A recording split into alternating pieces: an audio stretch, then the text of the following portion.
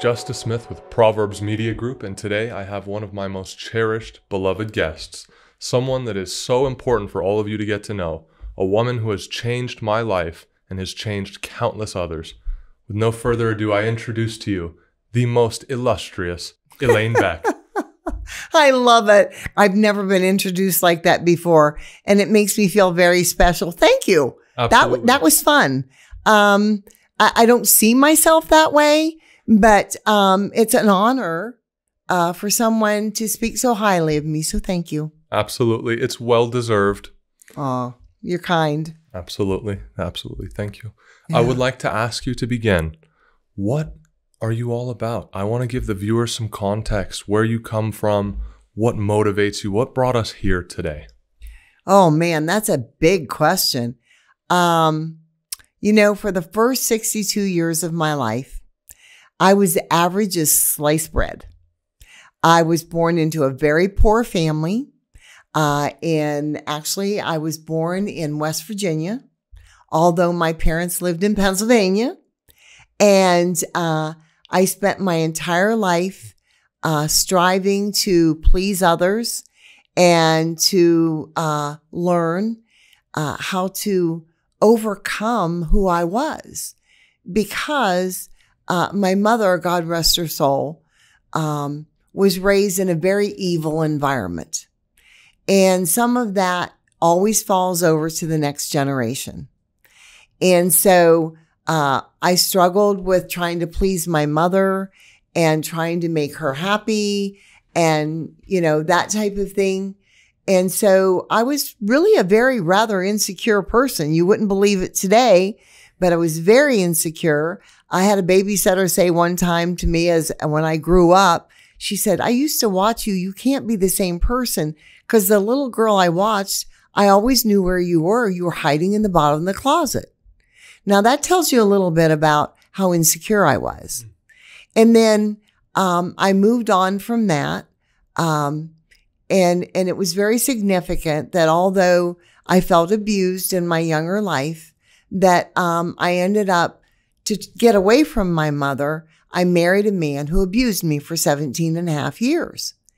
And so I know poverty. I know sorrow. I know hardship. I know uh, what it's like to, you know, raise three children uh, on my own. Um, I, I did all that. And through all of that, though, after the first 33 years of my life where I felt abused, and I was, uh, my husband never said anything good about me. I was worthless, useless, and nobody else would want me. And so um, I I strove to overcome that because of some Sunday school teachers I had, uh, in particular one uh, that was part of my life as a young child because my parents didn't go to church. Mhm. They sent me to church because it was a cheap babysitter. And so um, I went to church on Sundays, but I went to church at a very low keyed uh, Christian church.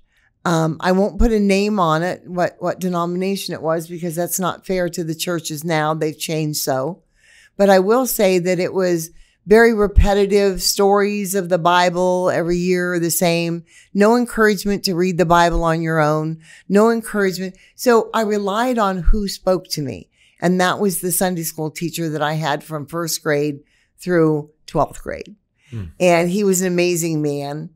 Uh, but on with my life.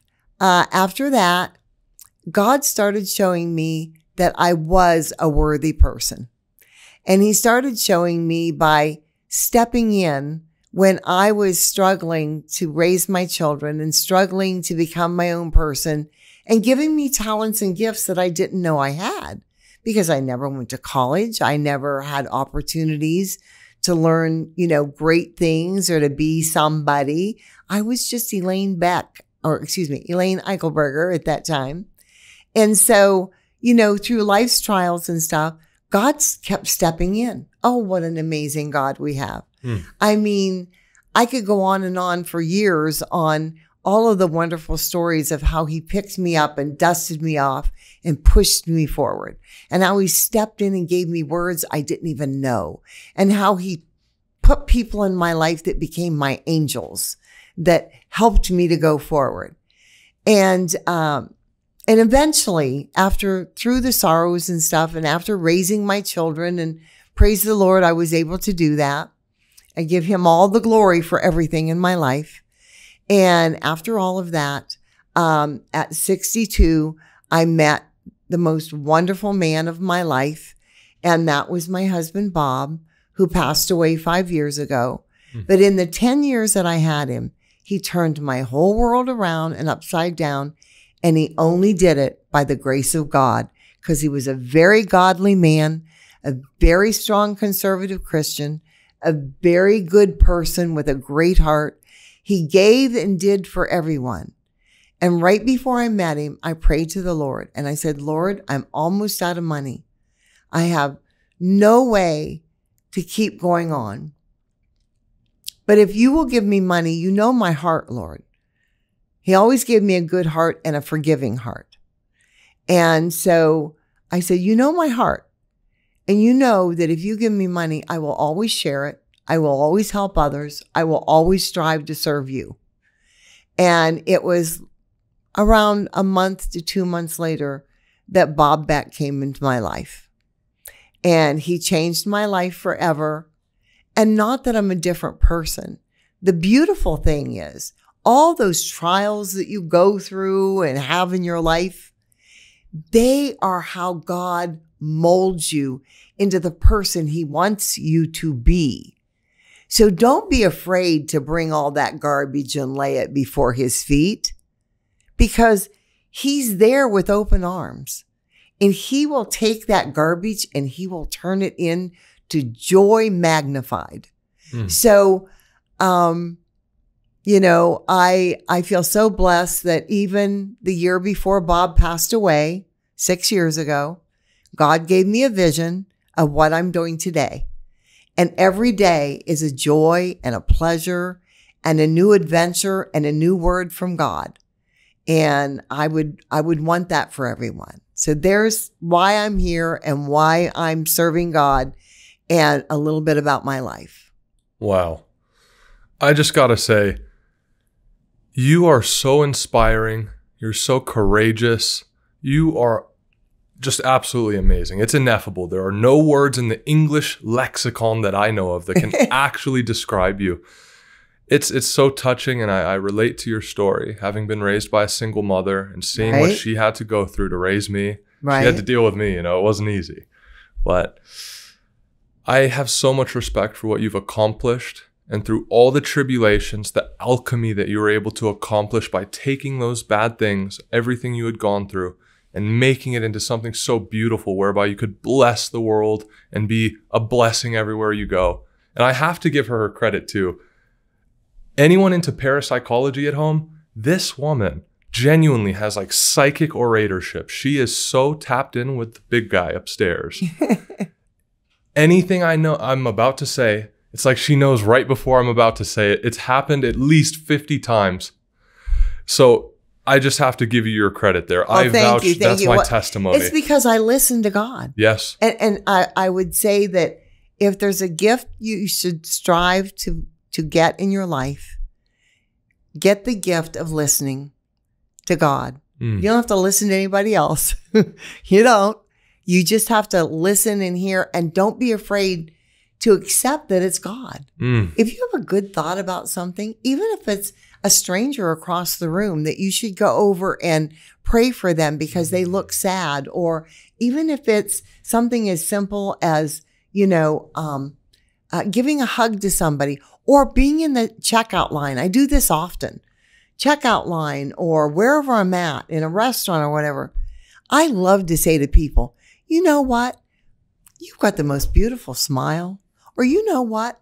I really love your sweater today. That's a very pretty color on you. Do you know how many grades and levels that brings uh, that person closer to the joy of the Lord? Mm.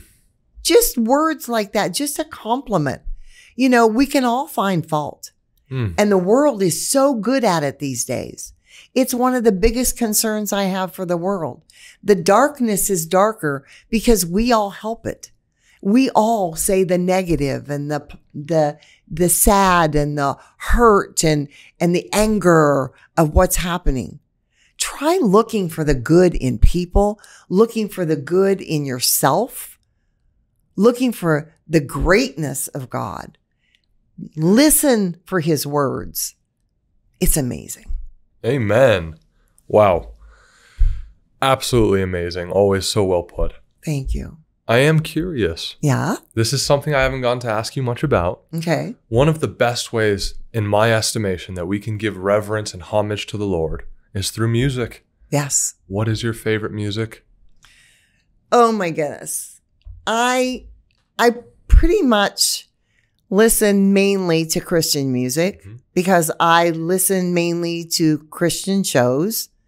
And um, I have a I have a understanding of God in that putting on the full armor means surrounding him around you Mm, all the time. mm, And yes, we I live a real life too. I've got family and friends and I shop and I I move and I decorate and I have all of those things in my life, but he's part of all of it. Okay? And so um music to me is a way of sharing your true heart. Mm. And so um my favorite one of some of my favorite Christian songs are um, I Can Only Imagine. classic. Uh, the latest one that I love and sing over and over and speak these words to God all day long because I'm not a singer, but I speak these words to Him all day long. I love you, Lord, for your mercy never fails me. Mm. All my life, I've been held in your hands. That's how the song goes. And there's much more to it. And that's my way of praising God every day is through that song because it exemplifies the truth about who he really is and why we should love him. Just in the few words in that song. So please do yourself a favor. Look for it, hunt for it, listen to it, and then memorize it because it really is one of the greatest way to praise God is through music. That's what he says. And as far as any other music, I I love the long hair as they call it. I love uh, classical music. I love the big band sound because when I was a little girl, very little girl, that's what I heard. My dad and mom came from the hills of West Virginia and Pennsylvania. And uh, my grandparents were coal miners. So, you know, we listened to a lot of country music. Okay. Um, I was the, the kid in school. Uh, I was, I was a teenager in the sixties. And so I was the kid in school that when they were all oohing and awing and passing out over Elvis, Okay. I was in love with Eddy Arnold. Mm. This older, older man. Maybe that's why I like older men so much. Mm. That could be it. You know, uh, I always admired and loved my dad. Mm. I always, uh, he was one of my greatest heroes. Uh, faults and all, we all have. Mm. But he was a man of integrity, total integrity. Mm. And so I could look up to him and I could count on him. And uh, he's been gone now for 27 years. Uh, and, but I know he's up in heaven along with all the rest of my family and friends and stuff that I'm going to get to see again someday. Almost can't hardly wait for that. But um, yeah, music is, uh, as I shared with the young people in China when I went over there on a mission trip, that music is an international language because the tones, the sounds, the the beauty of the instrument and what it produces in the right hands, Mm. not the wrong hands, and and all that. I love it, Mhm. but um, I, I'm I'm pretty diversified. I will go and listen to most any music. The one that I'm not as crazy about is uh, I don't like all jazz. Now, there's Mm. some good jazz and there's some bad jazz. Oh yeah. Just like there's even some good rap Mm-hmm. and there's some bad rap. Mm-hmm. But I would say those are the ones that I'm like, I'm particular about. Um, but, you know, as far as the other music, I enjoy it. I love it. Um, I went to see Andre Bocelli uh, Mm. in uh, the spring of this year. Uh, spent an hour and a half with him and his family. It was magnificent. Um, his voice uh, makes me shudder and, and chill at listening to it and tear up, Mm. uh, as does so many others. But that's my music. I love that. I love that. You mentioned having grown up in the 60s. Right? I'm really curious as a 26 year old, what do you think are the biggest differences you've seen in the world from the culture to the media to the general attitude of the people, the spirit of the people? What's changed since then to now? Wow, that's a good one. I think the biggest thing that has changed is we have become too open. Mm. There's no privacy anymore. There's no respect of self. Because when you when you open yourself to the world on media especially and stuff how do you project respect for yourself and others? Because we tend to make judgment on everything we see. We're human. God gave us this ability to make choices, and they are either good or evil. Mm. They really are. And so, you know, we see something bad happening, we tend to see it that way in our mind, and we pass judgment on it. Although the Bible tells us not to judge. It's very hard to grow. It's very hard and it takes work and it takes the love of God and to want to be better and to strive to be more like Jesus every day. And and that's how I live. But there was times when you know when I was younger and I saw the things changing in the world and it made me angry and upset. I mean, I recall uh, you mentioned some of the things that the gifts that God has given me. I recall in my 20s, God showing me what would be happening today Mm. And in little bits and pieces, and me seeing things happen in the world. And uh, one example that always stands out in my mind was when they first started bringing cars from overseas over. And immediately I understood the impact of it. Mm. I knew immediately that what we were going to see was a change in balance throughout the world, that we were no longer our own people. We were giving up our privacy. We were becoming less of a community of love and caring about each other and more of a worldly thinking people because now we were allowing other people's ideas and values and stuff into our world. And so we can be happy that, you know, now we can know what's happening in Israel because we love the Jewish people. We know that that's God's family. We know it's God's chosen people. We care about them. But by the same token, there's so many things that we see that are so ugly that it's sort of hard for a brain to wrap around, particularly for the children of this day and age. You know, when I look at people like yourself, you're 50 years younger than me, exactly. Okay, I'm 76, you're 26.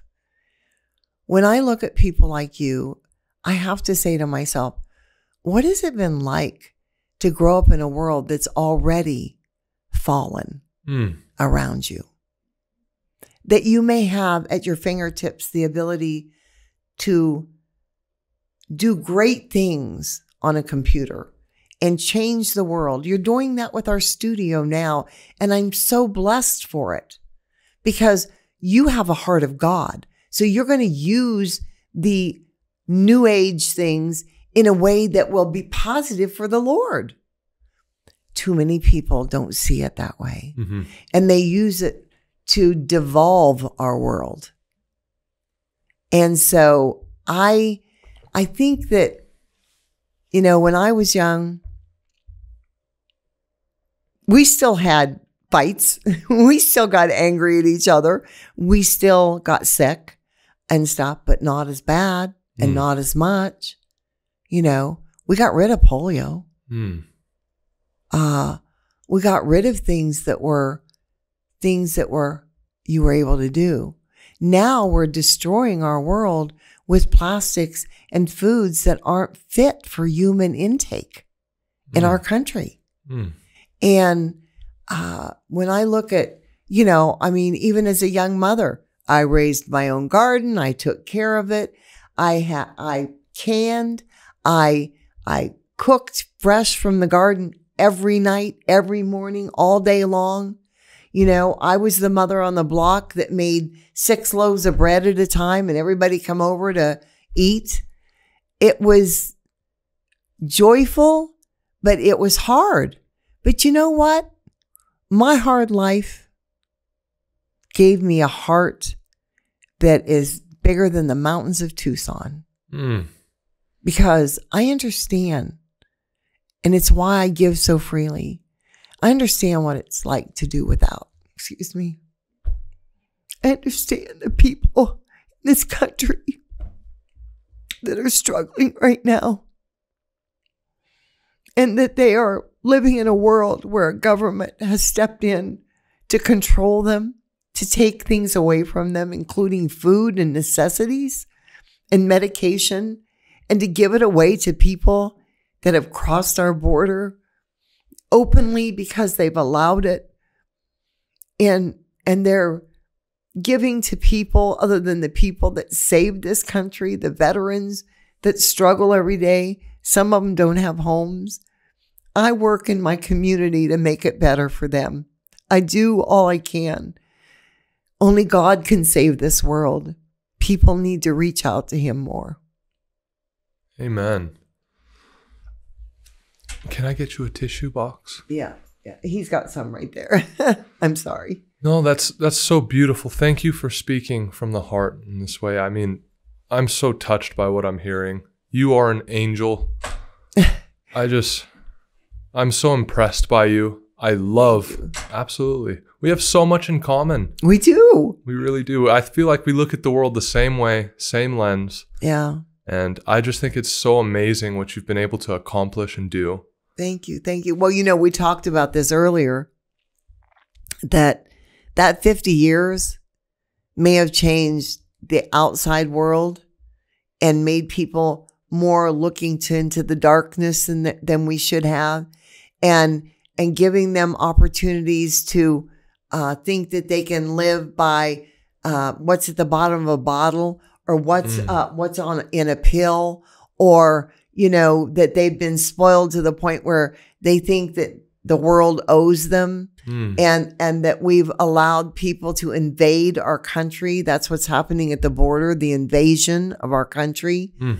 um but the truth of the matter is is you are like a son to me because you are what any mother would want to have in a young man someone your age who has not been afraid to fight to become a good person to study hard, to learn what is important, not just in a book, but by looking to God and trusting Him. And we've talked about that already today. All that I've ever done is really trust God. Mm. I haven't accomplished anything. He does it through me. And you have opened yourself up to the same thing at a very young age. You took the opportunity to make choices on your own that any mother would respect. And I, I think that, you know, as we spoke earlier, that it's not about, you know, how much you know as, as in the knowledge out of books and what you can do. Those are important. And you're making a great difference here and now.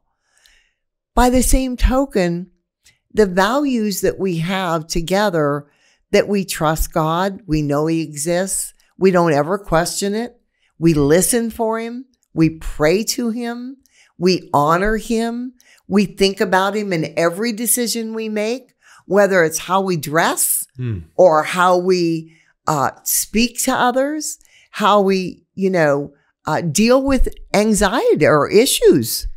You know, um, I think it's, I've grown through the years, obviously, and I've matured. Praise Jesus, Amen. right? But, and you've got a lot of things to go through yet. You've never had a family. You've never been married. You've never, you've got so much to look forward to. And I think that's so vital. But you are a mirror image of me in the eyes of God, as are all people. Mm. And that's what I want people to understand through our show that yes, there's darkness out there. There is horror, horror. And how else do you describe child abuse, Mm. pornography, uh, sex trade? Uh, how do you describe those things unless you accept that they are the horror of this world, that they are total evil, Mhm. total, without a doubt? Absolutely. But at the same time, all of that is overcomable, not through us, but through God. He gets to use us though, because we're open to let him use us. And I see that in you already. And you talk about admiring me. I admire you even more because you have all of this to look forward to. And I can only imagine, like the song title, I can only imagine what God has in store for you. And I'm going to sit back and I'm going to watch and I'm going to enjoy the show. Amen. Thank you. It's very kind of you to say, and it means a lot to me. Thank you. You know, I mean it too. Absolutely. Yeah. The respect is deeply mutual. Yes. Deeply. Thank you. Absolutely. You touched on a few things that I want to go back to. Okay. Some of the issues facing the country right now, and they're all interconnected in this really jumbled, tangled web. And I think that if we can figure out where the base of this is and pull the rug, maybe we can untangle most of these issues without having to tackle the individuals. But some of these individual issues that I'm looking at, for example, drugs, immigration, how these things are connected, our southern borders open. This administration has given an open ticket to people to come here. In many cases, the South American countries are emptying their psych wards and prisons Yep. and sending them up here where they can come in without any identification. They're given more money than the average American makes. And they're being flown out, put in hotels. I find this a little terrifying. My mother immigrated here legally. Right. This country has lots of immigration and diversity, and that's one of our strong values and powers. That's a good thing. But when we open up our border and just let anyone come in, it's not, there are good people out there who are running for asylum and need help. But there are also people who are going to take advantage. There's terrorists, there's child traffickers, there's rapists and serial killers. Absolutely. It's unreal. It's unreal. Well, my view on that is the same as yours that it's there and it exists. But my bigger view is this if we as Christians, and I mean this from the bottom of my heart, if all of us would finally stand up for God and dedicate ourselves to not taking any more and saying, no, you can't do this. And no, you can't have our children. And no, you can't change our language. And no, you can't, um, indoctrinate our children rather than teaching them. And no, you can't have an open border. And no, you can't sex traffic children. If we would all stand together instead of knowing it's next door and doing nothing about it or in our street or that, that you know people that are, are doing these evil things and you're not speaking out, um, it's only going to get worse as long as we're not brave. God showed us in the Old Testament, even before the New Testament came along, that He can destroy the world the snap of a finger. He can destroy a whole country. Excuse me. I'm going to take a little drink here.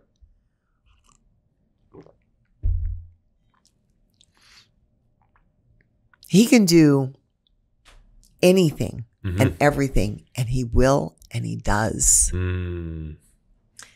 And so he asks us, all he asks of us is to love him first and love our neighbor as ourselves.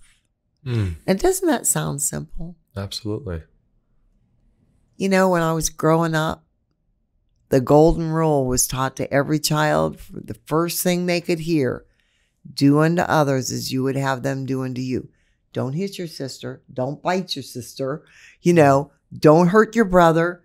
You know, be nice to her. Be kind. If you're upset about that, go tell your teacher. If you need this, go speak to mom or dad. If there's a problem, seek wisdom. Mm. These are all biblical things. Hmm. And they are that simple. But we've pushed God so far out of the room and we've out of our hearts, and we don't teach all of our children out of the Bible anymore. We teach them, you know, horrible things. There are books in our schools across this nation that shouldn't be allowed in any place, let alone a, a kindergarten or a first through sixth grade class at all, let alone the teachers in this country that are as vicious and confused and and unfit uh, as they are. It, it's horrible. Mhm. There are wonderful teachers. Mm. There are good people. There are superior families. There are good people that are Christians. There are good people that fight for what is right. But the number that isn't is exactly what my husband said the year before he died. He said, We have crossed a bar- barrier that should have never been crossed. There are more people seeking to benefit themselves and their greed and their need in their minds than those that trust God and seek Him first. Mm. Therefore, we are in the biggest battle of our life. If we don't save our country now, if we don't vote for Donald J. Trump instead of the evil empire that is running our country right now, we won't have a country. Mm. So I call on all Christians put God first in your life Amen. and remember that it's the values that we had as children that will change our world back to right. And that's what God's going to help us do. Don't think you're alone. He's in this. You stand up for him. He will come down and fight for us. He will make things right. He shows it to me every day. We have to trust it. Absolutely. I could not agree with you more. And you mentioned one of my favorite people alive right now, Donald J. Trump. Yes. And as a personal friend of his, yes. do you have any inside stories, maybe an experience you've had with him that you could tell us about? Oh my. Well, it started with the first time I met him. I had gone to a rally and uh, I got the honor of getting to have my picture taken with him. Mm. And it was a sad day and a joyful day because six months earlier, my wonderful husband had passed and gone home to be with the Lord. Mm. And I decided I was going to go meet President Trump. And when I got there, you know, you're told when you go in the picture line that you don't have a lot of time to talk. And you just, you know, if he reaches out to shake your hand, you put your hand out and shake it. And you go by what he talks to you about or what he asks you questions or whatever. You don't just keep offering everything. And I will, I remember this like it was moments ago. It became my turn in line. He walked forward towards me. He put his hand out and I put my hand out and he didn't stop there. When he took my hand, he took his other hand and he clasped my hand. And he looked at me and he said, Well, it's wonderful to meet you.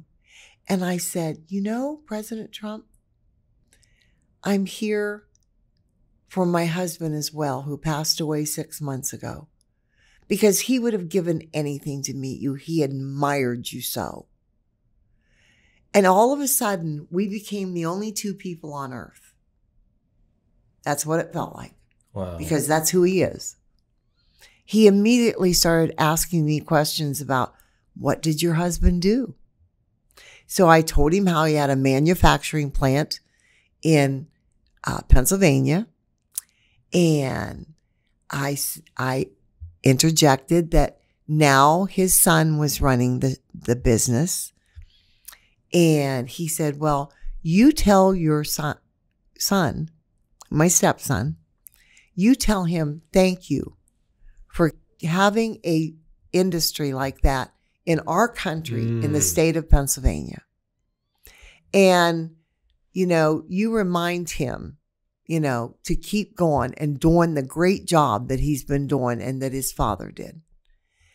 And it wasn't a long conversation, but it was a conversation of a man who didn't have to say that to me who didn't have to take the time to have a conversation with me. I've had my picture taken with him and, and met with him and sat at a table next to him at a round table several times. And we spoke less because there were so many people, or we spoke quickly because there were so many people involved. But at the same time, he knew right then and there that I needed words of encouragement, and he provided them. Mm. And I've seen that him do this to people over and over and over and over again.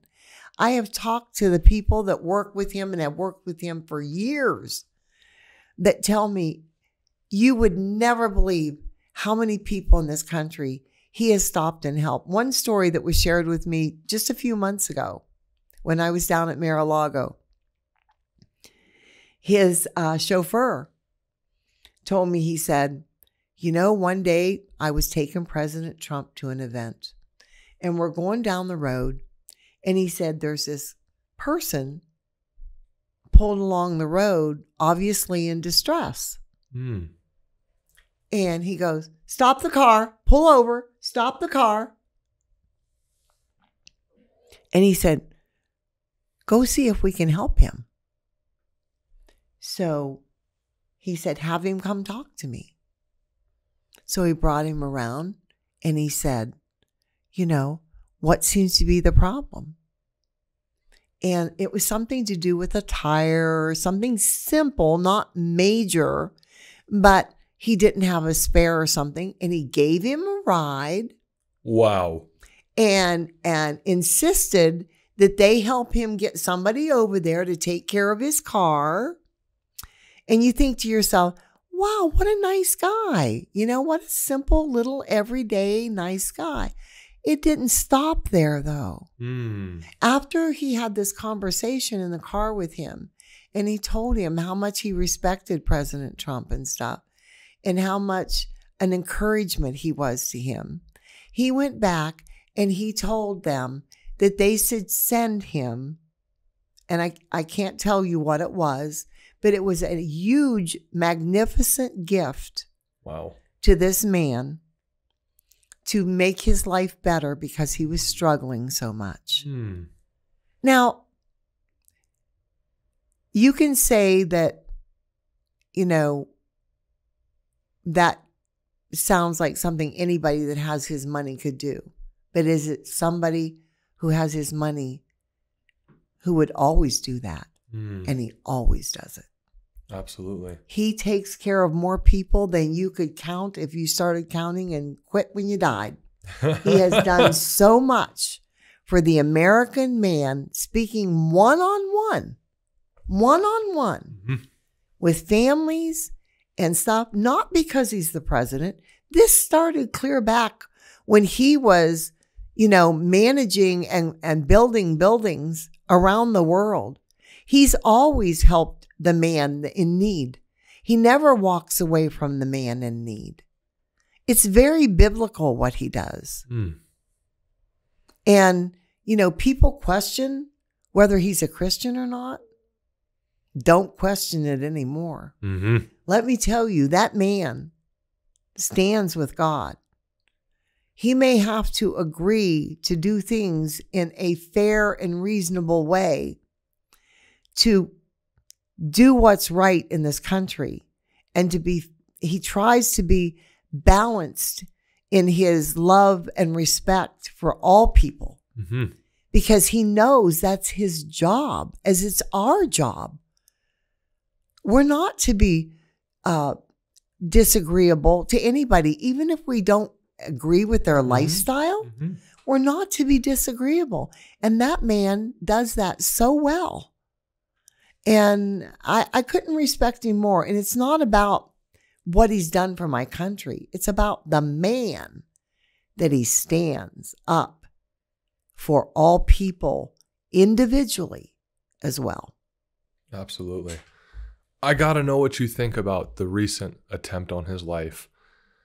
The media doesn't want to paint it for what it is, but if you ask me, that is a miracle.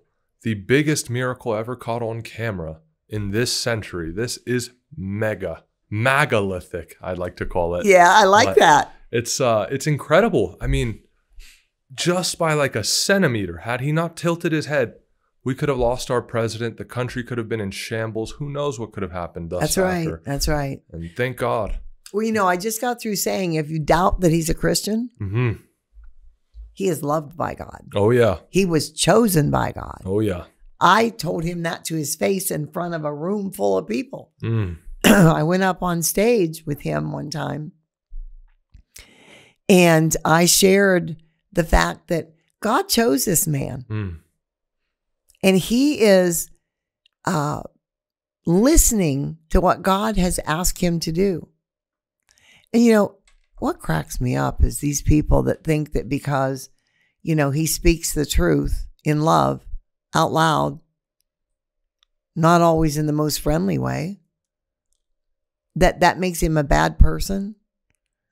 You tell me anybody that's ever had their their thumb hit by a hammer that Mm. didn't say something about it. hmm hmm That didn't say something or at least think something really ugly. hmm Okay? hmm This man gets hit all the time. His family gets hit all the time. He is under attack constantly.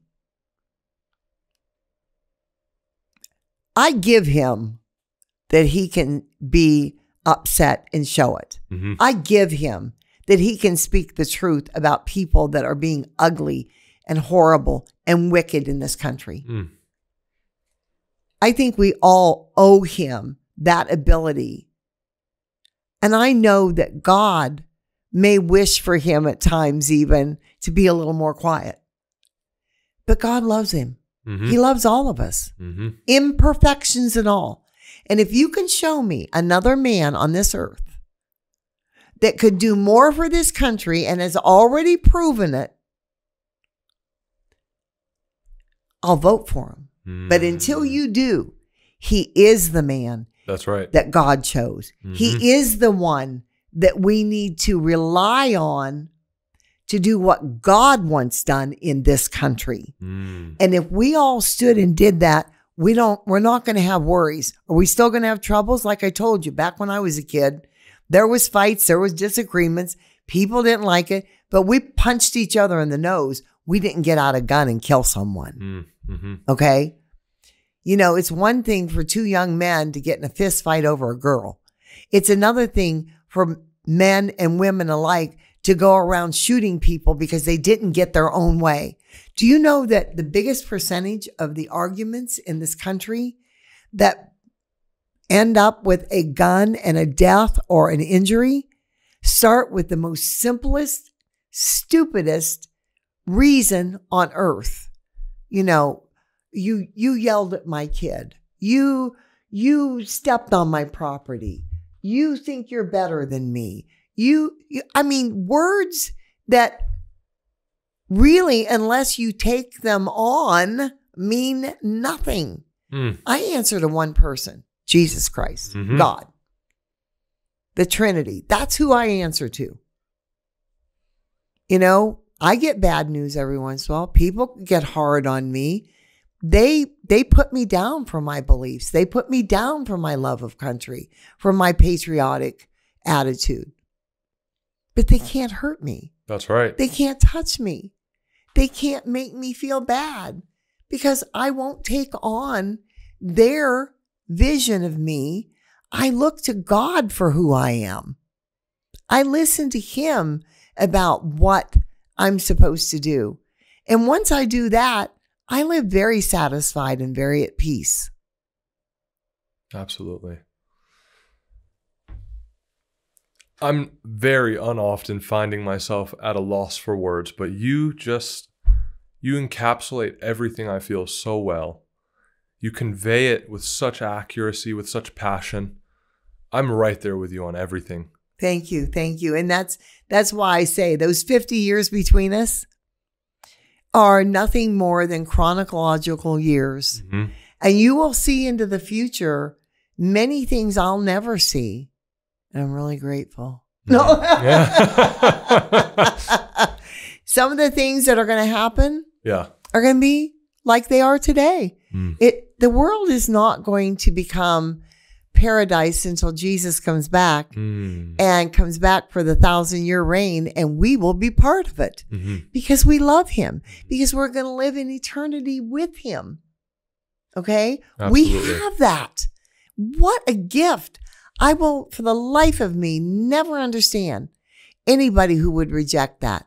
Who thinks that, you know, going out and and living in bars and Mm. and making their own choices and shooting up town and burning down buildings and hating is more important than accepting you have a loving God and he offers you eternity Mm. in paradise? Really? I my heart goes out to them. I pray for them every day. I Mhm. pray very very humbly to the Lord to remove the the mask, Mm. the curtain from their eyes so that they might see him and know his goodwill and his love and the peace beyond under all understanding that he will give them. Absolutely. If you could go back in time, 2,000 years, and see Christ in the flesh, Oh my goodness. what would you want to ask him?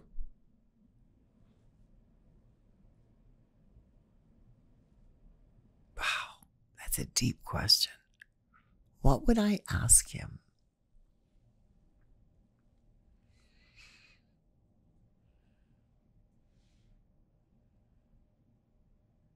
I'm thinking about this deeply because it's real easy to say, to save the world, to this, to that. It's unrealistic. I want to ask him something that's real.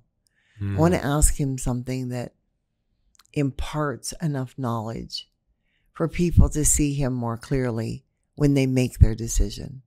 That that that he can reveal um you know to the world. But what else can he reveal? He's given us his word. Mm. He sent Jesus. Mm. He's forgiven our sins. I guess the only question I can think of is how can you love us and how can you give us all you have when we are so hurtful to you? Wow. There is an analogous relationship that I've just now realized between Christ and Trump, and I don't want to make any kind of blasphemous remark here, so I want to say this as carefully as I can. Right. Jesus Christ came down to earth. He sacrificed his own comfort up in heaven, Right. came down here in the form of flesh right. to give us an opening, a door into the kingdom of heaven. Amen. Donald Trump, a billionaire living in heaven on earth, Right. this man was so comfortable. And he decided to walk away from his billionaire lifestyle and sign up for the absolutely most hated, most critical, the most attacked position you could possibly be in on this planet. And he could have just lived the rest of his life doing whatever he wanted, Absolutely. having scallops and sea urchins and playing golf. But yeah, you don't like seafood. No. Bad analogy. Yeah. Tomahawk steaks. okay, now I'm with you. yeah, there we go. And I see something beautiful about that. And I think that's one of the best things that Christ wanted us to do is be Christ-like, to learn from what he's done and offer ourselves up in the same way. Trump sacrificed himself. He gave himself to the people. I really admire that. and his whole family has. Mm. They've all had to endure it. And you know, you asked earlier about the the shooting and the, the attempted assassination. You know, um, God saved him because he knows that he has to, to sacrifice himself. Donald J. Trump has to sacrifice everything he has and everything he will ever have in order to save this nation. Not because he's Jesus, not because he's, you know, but just like we as believers must be bold finally. We need to be bold finally Mhm. and say no more. Donald Trump knows that he has to sacrifice all that he's done and built in his life in order to save this country. If you can't respect that, how can you have respect for anything? Mm. If you can't respect God's chosen person to save this country, if you can't respect um, the word of the Bible, what do you respect? Mm. Where do you stand? Mm. I I um I it saddens me when I hear the horrible stories of what's happening to our children in this country and how now there's thousands if not hundreds of thousands of missing children Mm. that were coming from other countries to here. We can only imagine what what has happened to them. And with the sex trafficking happening and sadly our country is is the one that is in the most perverted position and has done the most with that because it's not before they get here all of them happen. A lot of them, it's happening right here in our country. A lot of it. And it, just, you know, President Trump, he wants so bad to save those children. He wants so bad to feed the hungry, the people that live here, his own citizens not the people that have been allowed to come and invade our country. He wants to save the veterans that Mm. are struggling. Look how much he did for the veterans when he was in last time.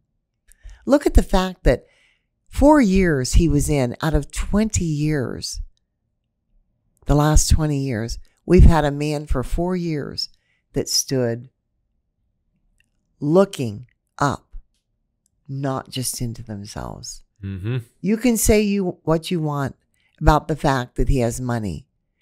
They're doing their best to take it all away from him. Mm. Frankly, America. It doesn't stop him. hmm It's a business. The government is a business, and who better to run it than a businessman? So, for any of his detractors picking money as the primary way to try to bring this guy down, I think it's because they've ran out of other things to look for. They went through the closets, couldn't find skeletons, so they had to go for the most just ineffective option. Yeah. And, you know, Trump, he's one of the only presidents ever, I believe, in history. I think he's the only one who's rejected his salary and donates all of it to the veterans, That's right. and the media doesn't cover it. Why do you think the media is so bent on trying to attack him and not the left? Well, now you've brought up my subject that galls me the most. Mm. I believe that if we'd quit fighting each other and we'd get rid of the media, we'd be a lot happier and Mm. we'd be a lot better off. The news used to be when I was a kid, it was telling the facts of what happened. Nobody threw in the juicy or the innuendo or the sex about it or the the um, uh, excitement and entertainment and threw in, you know, um, all of these questions. They just spoke the facts. If it was a baseball game, they gave you the score. If it was about politics and who's running, they said who was running and where they are that day. They didn't reread it, rewrite it, and give you their version of what they said of anything. We don't hear the news. We don't get the facts. We hear opinions. And the opinions always lean left because the left owns the media. If you're listening to the news, you are listening to a loaded gun that's pointed at your head. And it is telling you what to believe in and who to hate and who to like. Mm. And the biggest target on anybody is on Donald J. Trump because they know that he would save this country again, that he would make it better, that he'd bring your prices down in gas and, and everything else and food, especially.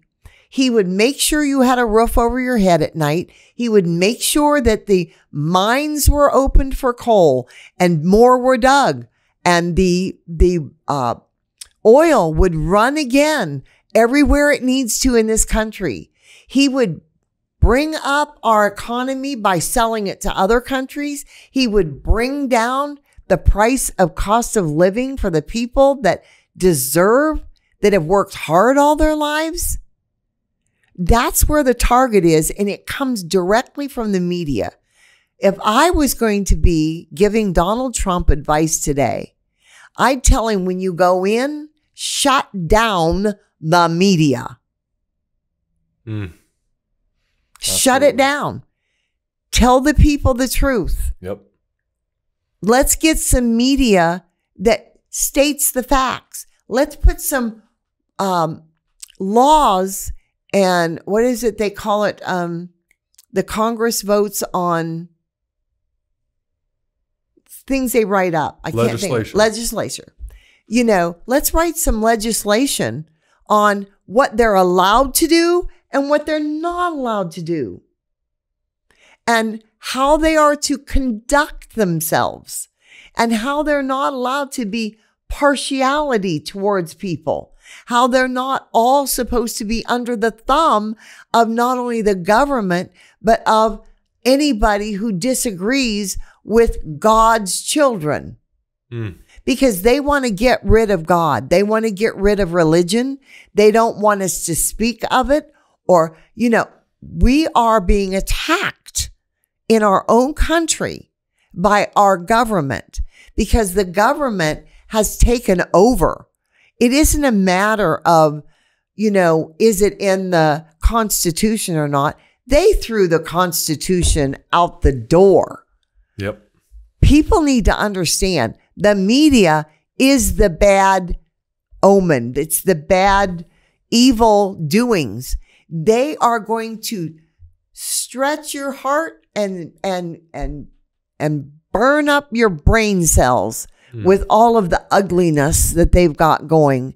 And then it moves on from the media into the, uh, the politics and the politicians onto the the communities, the states. It, it's infiltrated into everything. Shut it down by writing legislation that stops them from being able to say and impart their own opinions on what's happening in our country. Please get us back to making our own decisions. I want to feel like I live in a free country again. And our God is powerful enough to put a man that he knows called Donald J. Trump in power to shut them down. Wow. That is a great way to handle things. I think Absolutely. That's, the first thing that I, I would ask him to do is to help him get the right people in place right now, writing the legislature before day one, before he goes and, and gets inaugurated, have the legislation ready to say, you cannot do this, that, and the other. And all of you, please, from the bottom of my heart, I beg you, sign up and vote. Because if you sign up and vote, we will stop this evil in this land. Mm. Absolutely. And if we stop the evil in the land, meaning the media, and we get to start making our own decisions, and we get to get back to praying for what we want and loving the God that has given you everything you've got. Everything you've got, every breath you take comes from Him. If you would just love and respect Him, you would live a happy, fulfilled life. Amen. Absolutely. Yeah.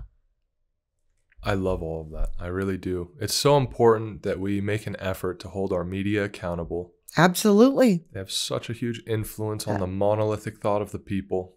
Yeah. After the Cold War, the intelligence agencies all started ideologically subverting each other. Mm-hmm. Laurel Canyon, the CIA set up and they started all these rock bands so they could start the hippie movement so they could, they could control the anti war movement.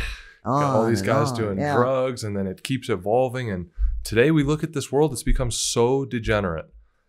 Everywhere we look. And the problem with degeneracy, particularly in the media, is the way that it works is that when you shock someone for the first time on the news or with a movie, the next time that person sees something, their threshold is here for shock. You can't show them the same thing and expect the same results. So, what does the media constantly have to strive to do? Is shock us more and more and more to the point where we all become desensitized and callous of the That's problems what they're doing. country. It's so awful. Yeah, yeah. You know, uh, I told you, and you've mentioned my my ability to see into the future and stuff. I'll never forget. I can tell you what house I lived in. I I could probably tell you what I was wearing that day. I was in my uh probably mid 20s when I saw on TV one day this man jumping off of a bridge to commit suicide. And they were showing him at the top of the bridge. He crawled up all the way to the highest point. And I'm like, oh my gosh, oh my gosh, what's happening? And then I realized because they started saying this well, you know, we can now take our, we have the ability to put all of our equipment on a truck and go out to the actual scene of what is happening and show just like we have John, so, you know, and he's up on the top of the bridge and he's getting ready to jump off. And I'm thinking, oh my goodness, what if his wife has the TV on? Oh, what, what if, what if his family, his children, what if his neighbors? Oh my goodness, they gave his name. They said he was up there and, and, and he was going to jump and, and they were trying to get a speaker of all things up there to him to ask him why he was doing it. And I am having palpitations of the heart and in tears because I could see the horror of what they were doing. And I was like, you know, this is horrible. You're, you're applauding yourselves and patting yourselves on the back because now you can go out and you can show live people dying and you think that's good. Mm. And I realized right there and then that as this kept up, people would become less and less caring Mm. and more and more numb and more and more dumbed down and pray less for that other person and care less for them because it would become normal. Hmm. This And look where we are today. It's horrible. It is. It is. But there's hope. And I think that's why we're here because we believe Yes. this can be turned around. We know it can. That's right. That's right. We know it and we're going to be part of it. We're going to be proud of it. And and we are going to continue to fight the good fight Mhm. and stand for our Lord and Savior. And there was one other thing that I wanted to point out to people about why it's so important to vote. Mm. When you vote, you are speaking more words than you can even imagine. And you are touching more people than you can even grasp. And in a sense, it doesn't become about you at all anymore.